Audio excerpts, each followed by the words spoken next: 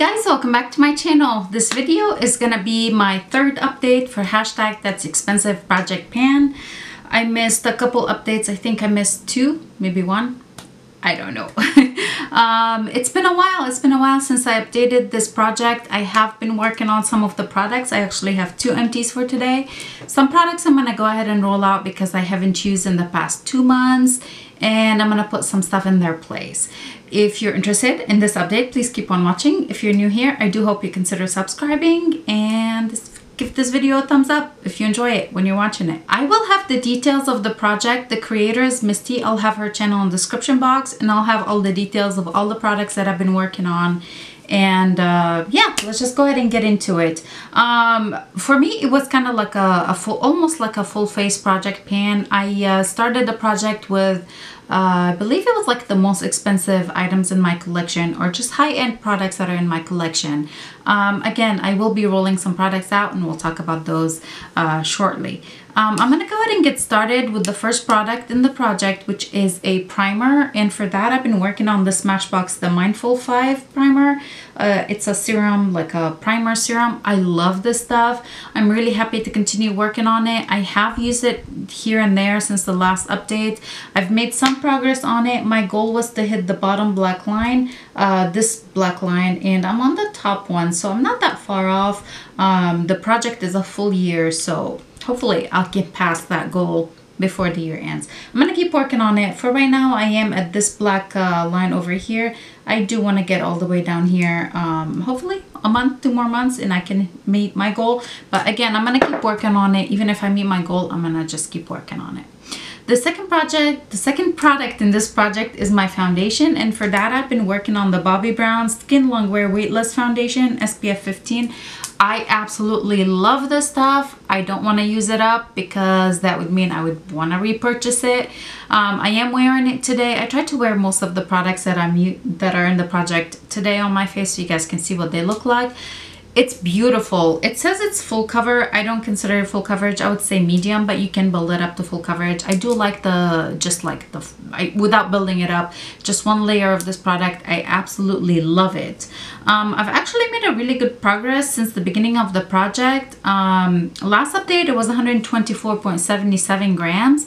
Uh, today's 121.44. Um, so I made, what, 3.33 since the last update? Huh, interesting. But since the beginning of the project, I've used more than 8 grams of this stuff. So I'm really happy with that. Um, before I used it today, it had settled down and I believe I'm like a little bit below the half line. That's where it had settled, settled down to, but I think it's lower than that. Anyways, we're going to keep working on this guy. It is beautiful. I'm happy to keep using it and um, I'm not sick of it yet. The third product is a concealer and I am working on the NARS Radiant Creamy Concealer. Um, I've made some decent progress on this guy. I This I do really like. Um, I like that I can build it up with one layer, especially if I blend it out with a beauty blender or like a sponge. I don't get the coverage that I really want, but if I put on a second layer and then, you know, like build it up, it builds up really, really nicely. I'm really happy with it. And it's, it's good for me. It's good for me like shade match and uh, I like it. I am uh, today it's 23.56 gram, but la last update it was 24.17 grams. So I've made some progress overall since the beginning of the project. I've used 1.2 grams of this guy, so not too bad. Concealers for me, I used to go through them really fast, but for some reason, maybe because I use less now, I don't like do those triangles under my eyes. I just use the right amount that I really need to get the coverage that I really want. Um, I don't go through them as fast as I used to, but I like the way my makeup looks now. So here we go. There's this one. Um, let me see how many. This is six mils, but I don't know how many grams that would be. Okay, Next up is uh, powder. I am working on La Prairie Skin Caviar Loose Powder. My goal with this one, oh, my goal for the NARS Concealer is to finish it up this year. Uh, but my goal for this uh, La Prairie powder was to use 10 grams of it. I'm, I'm, it's going super slow, you guys. I don't know what's going on. Um, I use it. I use it pretty much every time I do my makeup. Well, not every time, uh, but I use it a lot last update it was 293.74 grams and today it's 292.69 so I used up a little bit over a gram since last update um, but that's like two months uh, when I started the project since the beginning of the project, I've used only 3.2 grams of this guy. So I have 7 grams to go. I don't know if I can meet that goal um, unless I start using it all the time. But I do really like it. Um, I do really like it under my eye. I do really like it to set all over my face. And today I used it kind of to blend out my um, my eyeshadow in, uh, you know, kind of like in my crease and on the lower line to kind of like clean it up a little bit. It's beautiful for that in the same in the inner corner it's really beautiful i do really like the product it just it's going slow and hey guess that's okay right okay next up is a product that i'm gonna roll out and i'm gonna roll something else in its place um, i had the charlotte tilbury airbrush flawless setting spray party all night stay all day to be honest, I don't wear my makeup all day anymore. Um, I put on my makeup maybe around 2 in the afternoon. Um, when I have like a break from work or something, I'll put on my makeup and I take it off around 6, 7 the latest so I don't wear it all the time and I feel like just using this guy just to use it up in the project is a little bit of a waste. Um, I'm currently at this line so I've made some progress since the last update but I don't really reach for it so much. I do really like it like if I were to wear my makeup all day long that guy is amazing but for the few hours that I'm wearing my makeup I don't think I need something quite that much. Um, what I'm gonna go ahead and work on is uh, the Cover FX Have to grab it. It is Cover FX Illuminating Setting Spray. I hate the specific bottle itself. Um, the spritzer doesn't work and there's a lot of shimmer in here. So I usually let it settle, dump it in another bottle. Um, I think after I emptied, so I want to finish this whole thing. I went ahead and emptied it in this little bottle and then I'll keep refilling the bottle until this is gone. Um, so I filled it up all the way to the top. I'm currently at this top black line. I do want to finish it. I kind of let it settle before I dumped it in here, but still some shimmer came through.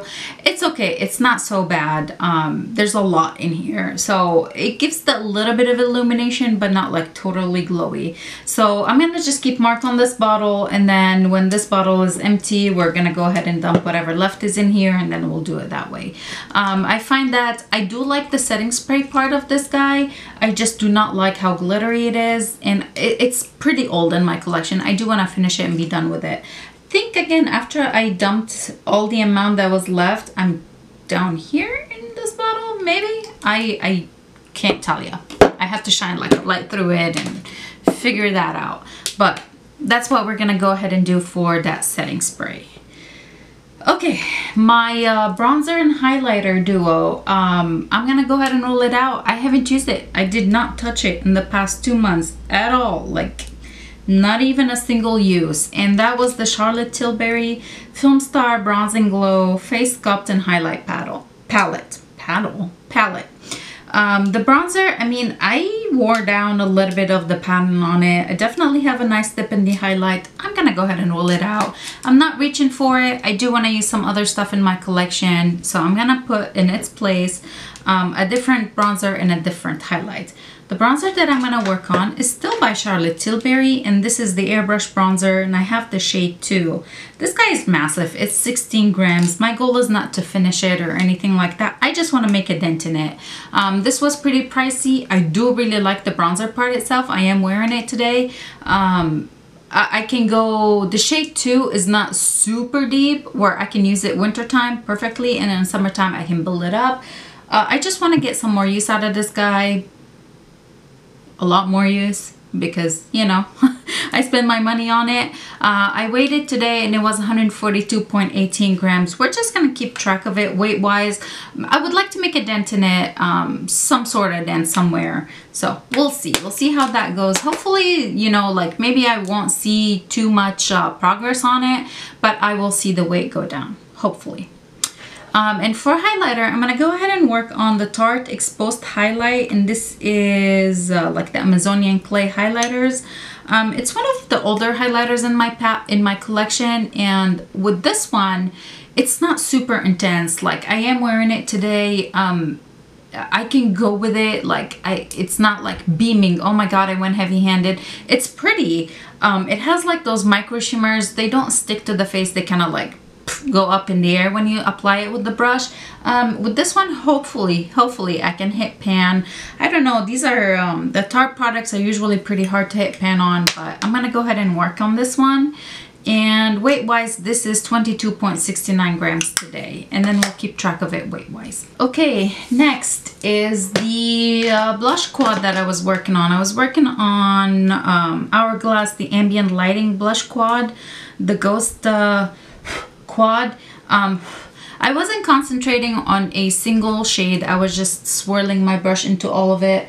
Um, I, I can tell that I made like a pretty good progress in this one and this one around the corners over here.